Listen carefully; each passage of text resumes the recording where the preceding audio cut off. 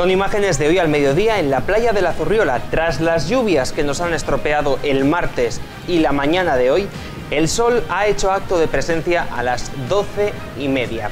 Y Lorenzo ha venido para quedarse porque aunque hoy y mañana habrá algo de nubosidad en el cielo, a partir del viernes subirán las temperaturas y el mercurio podría superar, según Euskalmet, la barrera de los 30 grados. A Rachalden, buenas tardes. Veías en imágenes la playa de la Zurriola, una de las pocas playas que hay en Guipúzcoa en la que se permite hacer nudismo. De hecho, tiene una zona habilitada para ello. El nudismo es sin duda uno de los temas que cuando llega el verano suele generar polémica. Y precisamente hoy, con nuestros eh, contertulios, vamos a tratar el nudismo en la mesa de NPI. Pero hoy vamos a empezar con teatro, con la obra Taxi. Es una comedia que ha venido a presentar a Guipúzcoa José Mayuste. Hoy se estrena en el Teatro Victoria Eugenia y hasta el próximo domingo vamos a poder disfrutar de una historia alocada en la que no van a faltar las risas. Nuestro compañero Miquel ha estado con José Mayuste, con el actor y director de esta obra.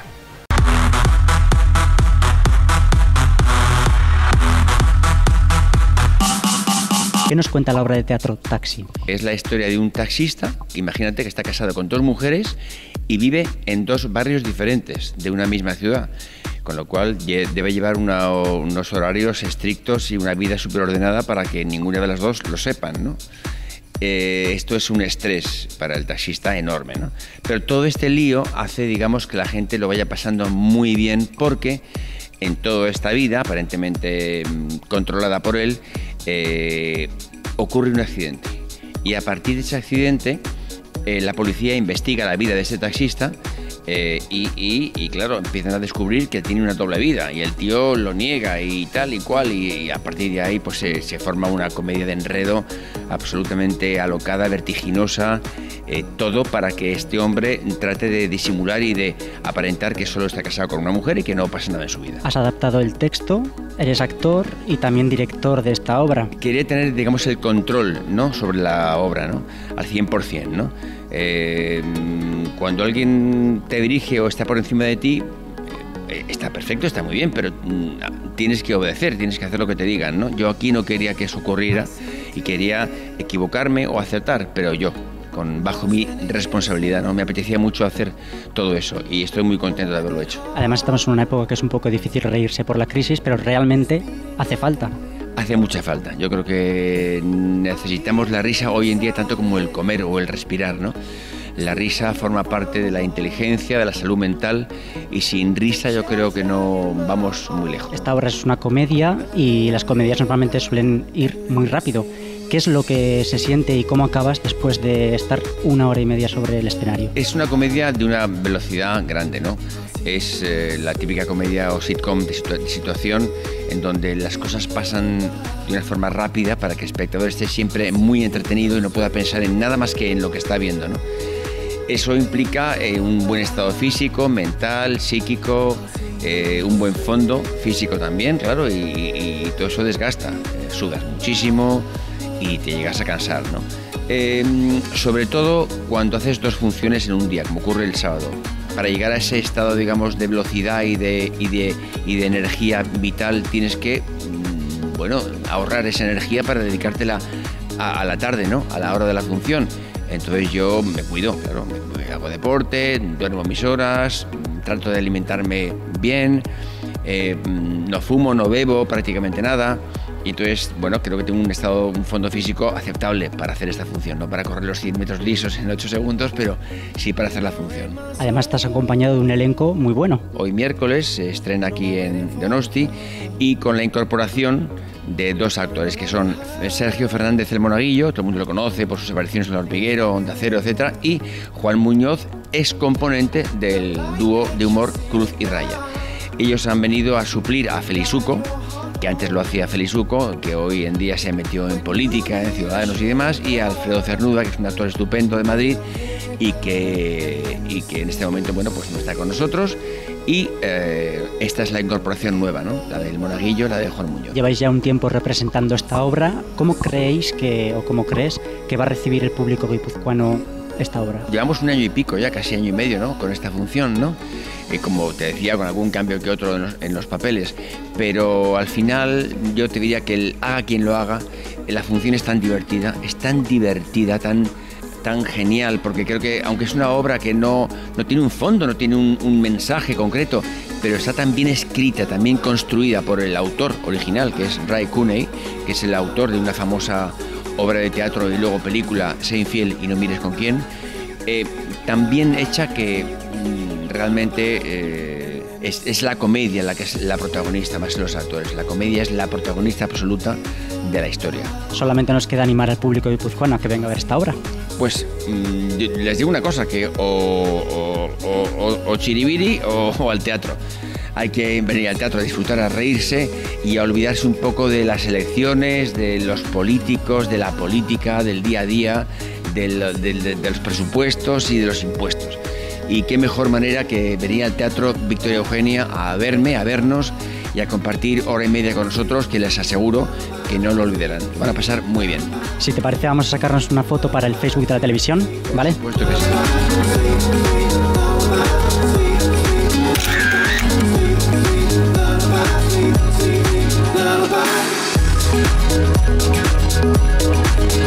Lo comentaste, se acerca el verano y ya empiezan iniciativas en ayuntamientos como en el de Madrid para que las piscinas se abran, por ejemplo, para la gente nudista, una medida que ha sido polémica.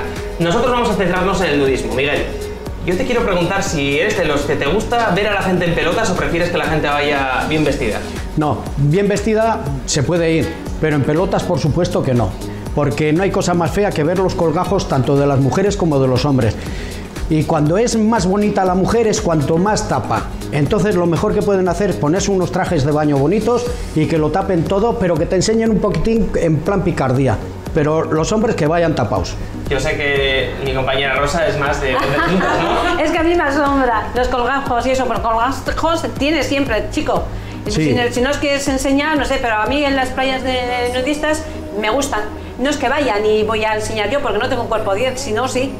Pero me gustan, no me molestan para nada. Ahora, lo de las piscinas de estas de Madrid que han salido hace poco, que iban a ir desnudos y tal, eso ya, ahí las piscinas no sé, pero por higiene más que nada. Qué feo, qué feo, Fátima, por Dios. Te veo tapadita hoy, no sé si es desnudar. Es verdad. No, yo desnudo, desnudarme lo, lo justo, Xavi. Y las playas, pues bueno, pues si hay playas habilitadas para ello o playas especializadas en nudismo, que, que hay bastantes, o zonas para ello, pues sí. Lo demás, como dice Miguel, yo en principio tampoco eh, ni, ni, ni hago topless, ni he hecho la vida, ni me gusta tampoco ver a nadie, porque bueno, la Te gente es muy quedar- libre, pero hay, hay, bastantes, hay bastantes cuadros. Te va a quedar una marquita del sujetador como una No pasa nada, hay unas cremas autobronceadoras estupendas. Sí, yo no, te, ¿Cómo se te ha yo no- yo no- que- yo no te digo que te desnudes tú, pero ¿a ti te molesta que haya gente desnuda en la playa? No, no, a mí molestarme no me, no, no me molesta. A ti sí, no te A mí, a mí me molestan que sea la gente mayor la que se desnude, las chavalitas que son 17, 18, 20 años, y no es porque, porque sea masoquista, no, sino porque están todo bien. Y entonces si le ves, por ejemplo, a la Carmena, tú le ves en una piscina en Madrid, allí desnuda, pobrecilla. Ya, pero bueno. Menos mal que ha dicho hoy que no se asusten los madrileños, que no voy a ir a ninguna, poco- a ninguna piscina de, de- para desnudarme. Porque en una piscina Menos mal. se ha practicado nudismo, porque es que no... No, por eso te digo, pero- es más nunca sabes cuando se cierran las Hombre, piscinas lo que puede pasar ahí Vuelvo a lo mismo, hay piscinas privadas, hay urbanizaciones con piscinas, que ahí se hará pues, lo, que se haga, lo que se haga. Pero en principio en una piscina nunca se ha practicado el, No, el nudismo. Es a más, te exigen Ya. bañarte con bañador, con gorro, con gafas, como para Sí, bañarte desnudo. pero más me fastidia es que este señor vete a, la- a las personas mayores, porque tienen con gajos, colgajos. Claro, ¿y no tenemos colgajos o qué? Sí, ¿y por qué Ah. no se a la playa así Pero no, pero que sí que puedes, Para ello hay, hay playas o zonas aquí, la de Gros, pero que sí puedes ir a la playa, Rosa, pero no vayas, joder, si vas a la playa de Gros y las ves que las tienen aquí y a otros, a, a otros hay así. ¿No ves esos documentales de, de África cuando salen son zonas Pues Y, igual. y- y es bonito, y es bonito eso verles encanta, a las, a las morenas como tienen aquí, que están ahí los niños enganchados, cuando tienen todavía 7, 8 años están enganchados ¿Y al pezón. no es bonito? A mí, a mí Eh, me gusta. Pero Hasta aquí. Eso Pero es que- salvaje y son zonas para, para Tampoco le estoy mirando cuando veo un reportaje de civilizaciones, esos a las tetas.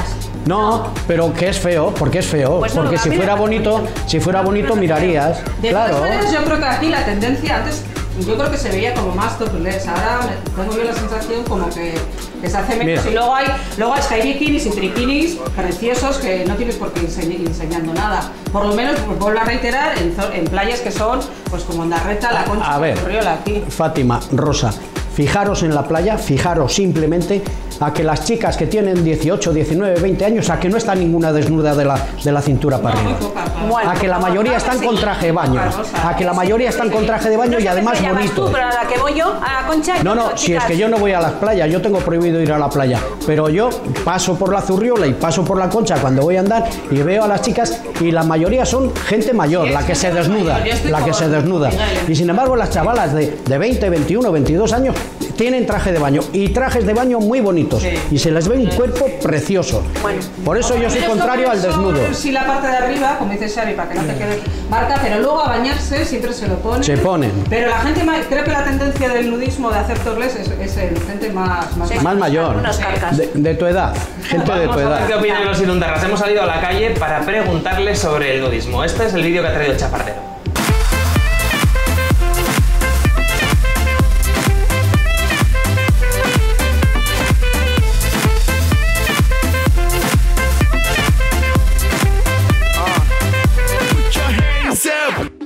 ¿Eres de ir a la playa normalmente o no? Yo sí. ¿Cómo sí. te gusta ir? ¿Te gusta ir de, desnudista, de desnudo? Sí, sí, me gustaría muy, muy ¿No bien. ¿Te gustaría o lo haces? Cuando No, vas? no lo hace. Ah, sí. Ya, ya voy ahí y, igual que gente. Claro, igual eres partidario de que la gente que se... Ya, soy libre y de todo.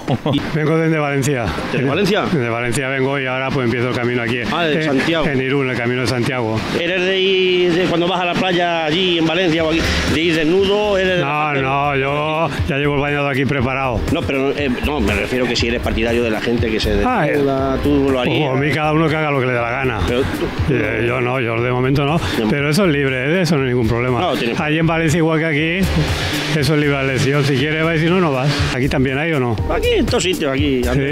Oye, eso no es malo. Sí. Claro, ¿Cómo no ah? Si eh, estás ropa, nosotros. ¿por qué no? que ¿No has ido a la playa todavía o qué? Todavía no. Sueles ir. Sí, poco, de vez en cuando. ¿Y qué tal cuando vas? ¿Eres el amo allí? ¿Te pones allí? eh, ¿Cómo va? ¿Eres de ir desnudo o No, desnudo no voy yo. con su biquinito o vestido No. Tarzán? ¿Cómo te, cómo te gusta a ti No, ponerte? normal, No. las bermudas, La no sé, bermuda, eso es bañador. verdad, también, es verdad. A Sí. mí también no me gusta ¿Te llevar gusta, eso. no? Hay No. gente que lleva ahí que No. parece aprieto. El que, bueno, Sí. el que, el que puede enseñar que... Puede enseñar que sí, que el que no, no, pues llevámoslo Ya, lo largo. justo, ya, ¿verdad? Claro. Antes ya iba a la- allí a, a las gemelas, pero no. A las gemelas. Al mirar. ¿Y qué tal ambiente hay ahí? Se monta.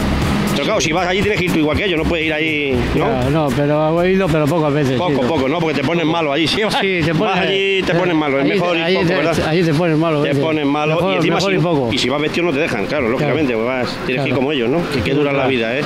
Pues nada, también tenemos tiempo, que acaba de empezar el verano. Sí, queda Anímate mucho. y vámonos allá a las gemelas si quieres, un día quedamos. Vale, Venga, majo. vale. ¿Eres partidaria de, de ir desnudo? No, la verdad que no. no te- bueno, pero Ah, si hacen los demás, bueno. No te- aquí en Onda- eh, por el País Vasco así, ¿te suena alguno? No, porque como no suelo hacer, pues no, no me informo mucho, no. Ya, yo que estoy buscando y aquí nada, solo me dicen en el extranjero, pero ahí tengo Ah, miedo, no no. sea que me pillen, como estoy en un país que no es de aquí, igual me detengan. ¿Eres de ir a la playa normalmente? Bueno, poquito, poquito voy, poquito Bueno. voy, pero voy a pasear, me encanta pasear por la playa. también es bueno, ¿no? Eh, es bueno, sí, es bueno. Lo que pasa es que el bañador no lo tengo en el armario con este tiempo este verano. Ah, ahí va, No yo, ahí va yo a la pregunta del bañador. ¿Eres de ir de bañador o parte de nudismo? Eh, la mitad, la parte de abajo lo tapo, pero lo demás lo enseño. Ah, tengo Bueno, poquito eh, para enseñar. las- eh, eh, estábamos hablando de nudismo y decir que Sí. es parte. Este hombre Sí. también quiere, que quiere salir. Lo, lo, lo dejo lo dejo lo otro que lo imaginen y que lo piensen Eso un es poco. bonito, así, eso- así, eh, así. Eso me gusta. Así, no, así. todo ya no, no, enseñar todo y se ve todo. que No. Como que no quiere y enseña. ¿Qué ¿eh? tendrá, cómo lo tendrá, qué será? ¿Qué No, ay, que ay, ay, ay, ay, ay, que me vuelve loco. ¿Y Ahorita, dónde, ¿Y dónde sueles ir para pasear? A Endaya, Para- a Endaya, a Ya Endaya. estaré yo para allí a ver Me si encanta, a hay ver, a unos ver. sitios ahí a preciosos ver, a para ver. todo, para, medio, todo. para desnudismo. Para pues- quitarlo en un momento dado. Guau, o sea, guau, eso, guau, eso depende tipo- de, de dos. ¿Depende de? Depende de dos. Del tiempo. Y del tiempo, mucho del tiempo. Del claro. tiempo estamos- No, porque hoy nos enfriaríamos. Pero bueno, no, no, no hace tanto frío, eh, la verdad. Bueno, eh. no me hagas hablar, no, No, no me hagas a que he hablado bastante. Y me estoy. En fin, pues nada, disfruta y a ver si sale el sol, que va- Pues, dice que viene bueno, ¿eh? sí, eso dice, pasajero sí. y pues ya me pasaré yo para allí por Endaya paseando. Muy bien, Yo también, vale. eh, mitad, ¿eh? Ah, mitad también. Ah, bueno, bueno, bueno, vale, vale. No, señor. Ya me encargaré de la otra mitad yo, no te preocupes, ya te preocupes. Bueno, Díaz, te he visto que estabas ahí Sí, sí, sí, sí, loco, loco, quería- sí, quería- bueno, quería yo hablar. Habla, habla. ¿Quieres ir también a la playa y eso, no? Porque estamos Sí, hablando de sí, eso. sí, sí, de la playa. eh, Ya, yo me iba todos los días a bañarme. Iba a las gemelas allí. Desnudo. Pero, pero desnudo, desnudo. Ya sí, iba sí. tu dama, por eso has Uh, estado el loro sí, que te he ya visto. digo, creo, ahí estabas asomando, digo, este hombre Sí, sabe. Sí, le digo de verdad que No, no, yo más creo, joven creo. me- nos, nos dábamos con las Claro, amigas y tal. Y amigas. Y se montaban unas orgías de Oh, madre terrible. mía, aquello es una maravilla. La pena es esa La pena que no vayamos ahora, Que ahora no vayamos ya. ya No, que esa- está, eh, Exactamente, que ya somos mayores Ya. y ya es diferente. Y que se hacían juergas buenas. Eh, Y se hacían muy, y muy sanas, no había No, no, sí, eso es sanísimo, eso no es peligroso, donde está la alegría, eso que va. Y que hacías ahí como Y yo, eso. Era, yo siempre era, era muy bromista, ¿eh? No, Era no, muy bromista. se te nota, y bueno, íbamos a las rocas, cogíamos, eh, cogíamos lapas, las cosíamos y también calamarros y, y estos cangrejos que le llaman nécoras, de esos grandes. Sí. En las rocas, en las gemelas. las mujeres. Exactamente, cuando bajaba la marea, nos lo llevábamos allí donde estábamos en una bolsita. Digo, mira qué bicho he cogido aquí. Le enseñaba así y me decía, me decía, uy, como me, eh, como me se enganchen donde yo no quiero que me se enganche, se tapaba aquí porque creía que le iba a pegar el cangrejo el viaje en la, en la castaña. Dice, como me se engancha ahí. Bueno, ya Y vuelto, sigues hablando. Pues sí, Sigue, no, yo sigue. ya me voy. No, ya bueno, pues, se iba. Muchas gracias No, y muy pero- amable. pero entonces- ¿Y esto es donde salimos? ¿En el TV? Donde quiera. Ah, pues Esto sale por todo el mundo. Ahora Sí, estamos sí. en todo conectados, hasta en la NASA. Claro, creo, sí, sí.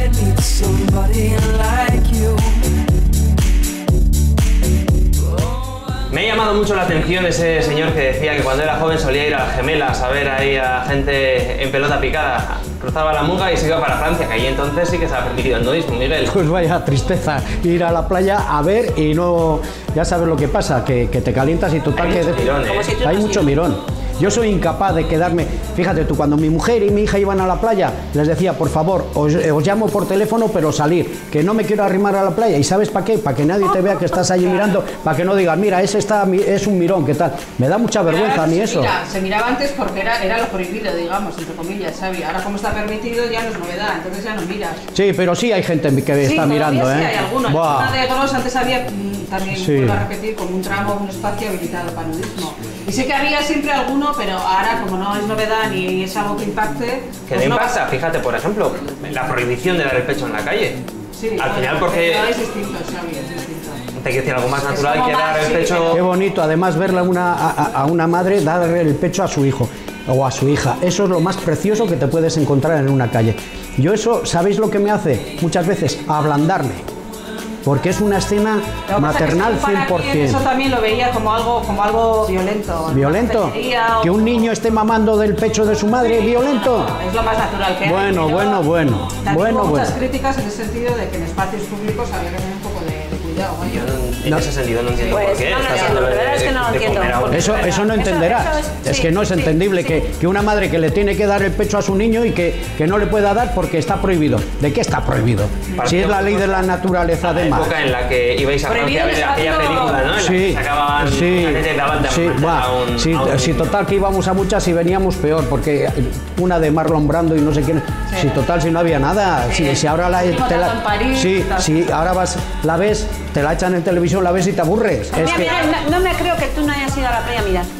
te prometo, como me llamo Miguel, que no, nunca. Es que me- soy muy vergonzoso, es que no sabéis Así lo vergonzoso que yo soy.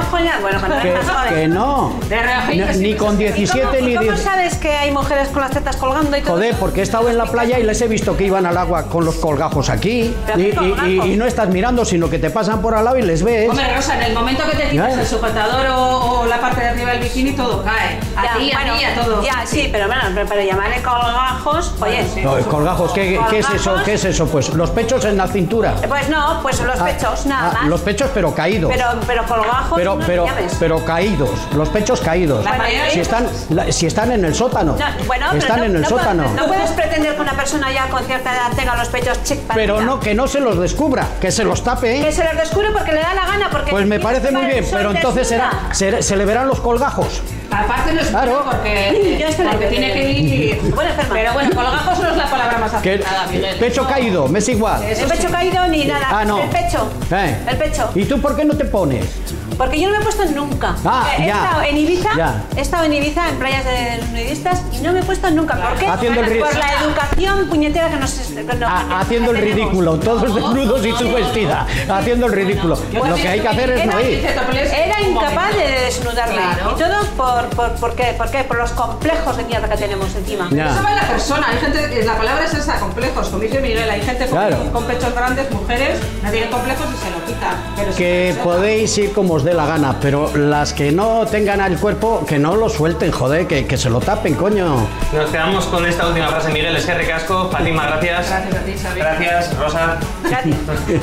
Nosotros continuamos con literatura, con este libro que estáis viendo. Es el primer trabajo de Ricardo Alía, él es de Rentería y ha publicado El signo del dragón. Es una trilogía que sucede en San Sebastián y que trae mucho suspense. Hemos estado con su autor. Esto es lo que nos ha contado de la obra. Ricardo Arrachaldeón, en primer lugar, ¿qué nos cuentas en esta primera novela que has escrito, El signo del dragón? Mira, el libro empieza con un crimen en la Facultad de Químicas. El caso se le asigna a Mas Medina, que es un inspector de homicidios de la Archancha, que está acostumbrado a trabajar solo. Pero en este caso el comisario le asigna un ayudante, que es Erika López, que es una mujer joven recién salida de la Academia de Arcaute. A partir de ahí ellos se ven envueltos en una investigación donde nada es lo que parece. Se trata de una trilogía, una trilogía que tiene dos libros más, en los que el título también tiene que ver con un signo del zodiaco chino. Sí, sí, porque la idea era, era un año, un crimen, un, un signo. Entonces, asociar cada año a un signo del zodiaco. Entonces, el segundo se titula El vuelo de la serpiente y el tercero El salto del caballo. En las novelas a mí me gusta, hay muchas referencias al dragón en esta primera, a la serpiente en el segundo. Los signos del zodiaco siempre tienen alguna cualidad que va con ellos. Por ejemplo, aquí en nuestro horóscopo los tauros suelen ser cabezones. ¿Cómo son en China los dragones? Bueno, me gustaba mucho la dualidad del dragón. El dragón en Oriente es sinónimo de, de buena suerte. Entonces, allí en China, en el año del dragón suele haber un baby boom, es decir, que la gente, los chinos es- están deseando tener hijos en ese año porque es, un buen año, es un buen augurio.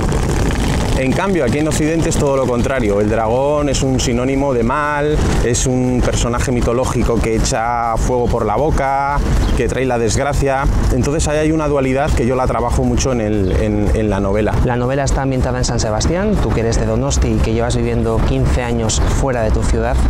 ¿Te ha traído un poquito de morriña el escribir sobre tu ciudad natal? Bueno, eso es, eh, Donosti me encanta, es una ciudad en la que nací, en la que crecí y la verdad que sería para mí un sueño volver. Ojalá, ojalá que en un futuro no muy lejano pueda volver a Donosti. Y uno de los puntos fuertes yo creo de la trilogía es situar la novela en, en Donosti. ¿no? Eh, Para mí Donosti es una ciudad muy literaria, es una ciudad con mucho encanto, es una ciudad pequeña donde hay lugares y sitios para perderse y en cierta manera Donosti me recuerda quizás por ese clima desaplacible, por el eterno chirimiri que siempre tenemos aquí, me recuerda un poco a estas ciudades pequeñas donde de las novelas nórdicas, escandinavas. Eres licenciado en químicas en la UPV y me llama la atención que una persona de ciencias escriba un libro que es algo de letras. Dos disciplinas que podríamos decir que son bastante opuestas así a priori. A mí la pasión por la escritura me viene desde hace mucho tiempo, desde mi época del instituto, incluso más atrás, ¿no? Entonces yo siempre digo que los escritores, independientemente de que escribamos o no, siempre estamos leyendo, estamos. Entonces yo soy un lector empedernido, yo devoro novela negra y devoro cualquier otro género que me que llegue a mis manos. Y, y bueno, casualmente en la Facultad de Químicas, estudiando, encerrado en la facultad entre libros, pues es cuando se me ocurrió la idea de- de- del dragón. Entonces ya, ya, venía, ya venía de atrás eh, esa necesidad de escribir. Ricardo, pues si te parece para finalizar, animándonos a todos a leer tu libro. Pues la verdad es que no os vais a arrepentir, creo que es un libro que está ambientado en Donosti, que tiene unos personajes bien perfilados, que crecen, evolucionan y sufren con el tiempo, que hay diálogos mordaces e inteligentes y que hay una trama que, que os animo a leer.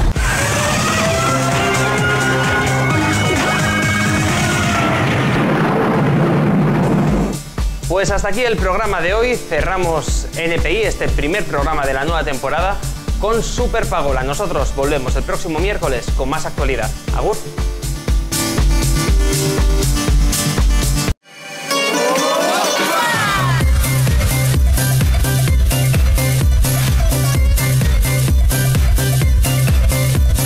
Hoy Super Pagola nos va a enseñar a cómo hacer un bikini de playa bastante especial. Sí, vamos a hacer un bikini de, de verano, pero antes una cosa.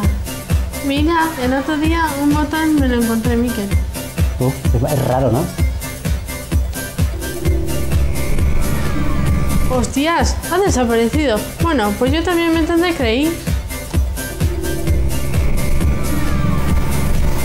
Uy, pero ¿dónde estamos? Uy, si estamos en Grecia. Bueno, habrá que quitar esto, ¿no? ¿Por? Porque igual nos lleva a algún sitio Bueno, vamos. diferente.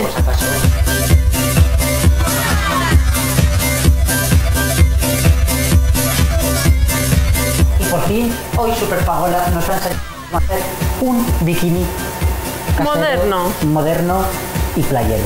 ¿Cuál es el primer método para hacer un bikini? Si tenemos las tetas grandes, necesitamos una sandía. Y hay que hacer con un cuchillo. Como no somos ninjas, porque los ninjas hacen chim pum. Pero como no somos ninjas, Yo creo que eso solamente este en las películas.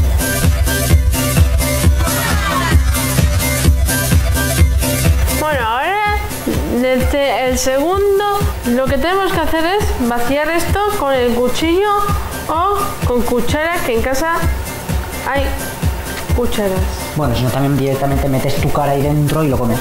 Bueno, como veis, hemos vaciado y... Pon la boca, Eh. pon la boca, pon la boca. No, no. Que sí, que sí, que es agua. En plan discoteca, cuando una guarra echa cosas así a la gente.